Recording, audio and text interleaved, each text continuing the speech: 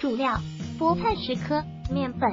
辅料：西红柿一个，笋两个。油、盐、葱。脆入的菠菜，将菠菜榨汁，然后菠菜汁加一点水放入面粉和成团醒十五分钟，擀平而且要薄，然后折叠切成宽条。抖开，用煮白芦笋的汤煮面条，清香的很。油热葱花炒香，放入西红柿炒三分钟，放入煮熟的面条，放入蚝油即可。